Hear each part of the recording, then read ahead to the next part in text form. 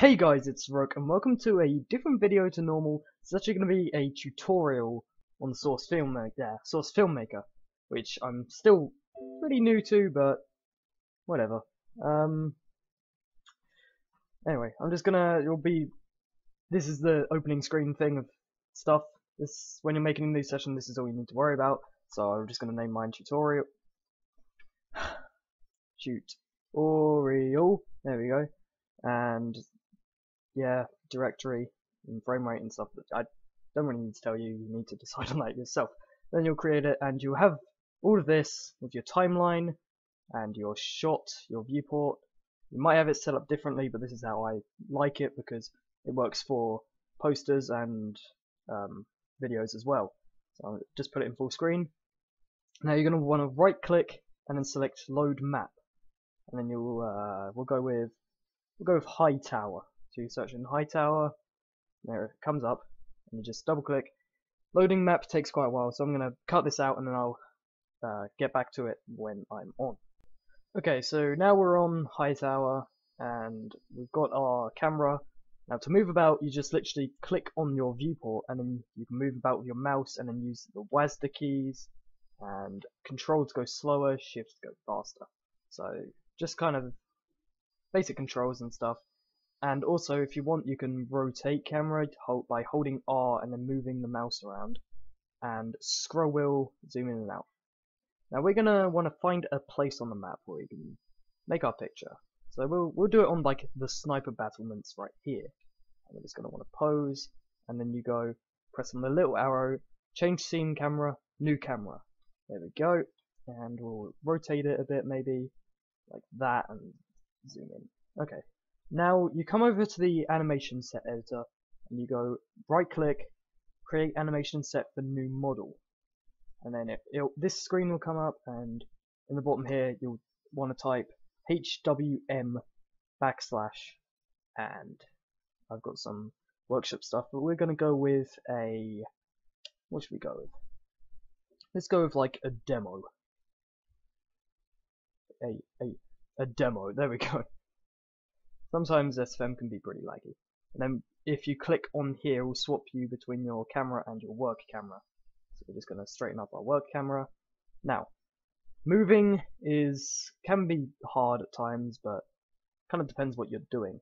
So you click on down here at the timeline, you click on motion editor or you can press F3. And you come on here, you select this one, hold control, and then select root transform and then you uh, hold on to this box with left click and then when you press shift it will automatically snap them to the floor.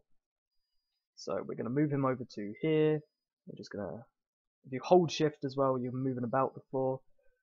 And here we go.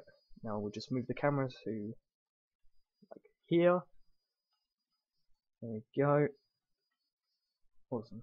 And now we're going to want to just do some basic posing. This doesn't actually involve involve any kind of manual posing. This is all presets. So you're going to want to right click on the demo, go import sequence, and now you'll have this menu which you can scroll to the top and then you can go through with the up and down arrows if you click on it and then you can go through and select a pose. So we're actually going to go with one of the standing ones which are all the way down all the way down to S stand so we can have him holding a sword, or we can have him standing as he doesn't lose, lo ah, losing time, victory time when you've lost whatever. But we'll just have him standing holding a primary. So we'll open, there we go. So now we've got our pose, now we just need to add items. So to do that, thank God for the new update because it was awful before. We go right click on demo in the animation set editor and then add Team Fortress item. And then in here we can choose our items. So we'll go grenade launcher. And then you press OK. And oh god, what happened? okay, grenade launcher is broken. So we'll try something else. So we'll go add Team Fortress and we'll go lock, Loch-n-Load. Is this still, is this broken? Yeah, that, that's also broken. Uh, um, I'm not sure what's going on, but we're going to change the sequence to If we go down, item one, we'll have him just holding a sword. Hopefully this won't be broken. Now we're gonna come back a bit so we can fit the whole sword in. And we'll go, we'll go with the half Zatoichi. Okay, there we go. That's not broken, and we're actually gonna move the position around because you can't really see the sword like that. So now we've got this. We've got a demo standing on the battlements holding a sword just to the right of the screen because I like having this blank space on the left if someone wants to set it as their like uh, wallpaper and then they've got all their icons here. But that's just that's just me. You don't have to do this. Um, and then we're gonna add some hats. So we'll go with the samurai. Wait, sam, samurai, and go with the bushido. There we go. Just the same as you'd add a weapon. And that's on there now. And if you come out here, you can see we've got our samurai demo just standing there. But his face, he doesn't look very happy. so we're just gonna come here, and if you click on here, you can go through the pre, well, you can do that as well, and then this gives you all the face options on this bit. You can go through the presets of the uh, face poses. So we'll just go with like a smile. There we go. And just slide that across. Now our samurai, uh, samurai is smiling. You want to kind of get that uh, smile on there. So now if you click on here, because the picture won't be rendered as it is here, but if you click on the uh, on the timeline here, this is how it will be rendered. It doesn't make much of a difference here, but when you're doing other presets, it will have blur, which, which is really annoying. Now, we want to add an unusual effect to this, because we're, we're pretty cool. Pretty cool like that. So we're going to go right click again, and then this time create animation set for new particle systems. Uh, now, for this, we will actually need a mod that I have installed. I'll put that in the description. And you just go into user mod, particles, and it will be downloaded in there. You select it, and then here in the drop down box you can select any of the uh, unusual effects. So we'll go with, let's see what there is. Disco Beatdown. And then you'll go 0, 99, 99. Okay, now, you, this is a weird bit, kind of. So you select, you open down all the drop down boxes on the hat that you want to put it on, and then you do, you open down all the drop down boxes on here, and you put uh, bip head, bip underscore head, into transform, of the effect. Now you click on here and you just drag zero all the way across. So now if you come off of here and then back on, when you play, you've got the uh, unusual effect there. So that's it's actually pretty easy, and now you're going to want to find a position where the unusual effect looks cool. So about there maybe. Yeah, that's pretty cool. So we've got our demo standing there. It's got its unusual effect. You can actually see here how it changed from here to here because it's got it's a bit more blurry the effect.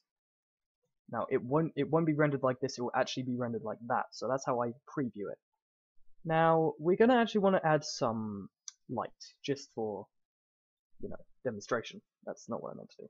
So you right click on here and you go create animation set for new light. Same way you did particle system and model. Now, if you hold control, you can actually see this is the light here that's just been created. Or, if I unselect it, you can click on the light in the animation set editor and it'll select it automatically. Now, you're going to want to use, rather than this, which you can use, this uh, uh thing, I'm going to use this. So, the, um, move tool. And I'm just going to move it to the right and then use the rotate tool to rotate it towards the demo man. So now if we come in here, we can see we've got the light on him.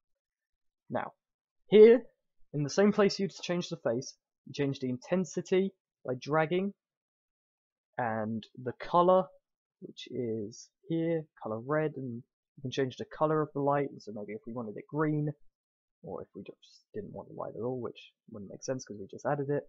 Now I think that looks quite cool, that kind of light. Now we'll change the intensity to where it looks quite nice. So it's just kind of shining off of the shorts, uh, the sword and the helmet.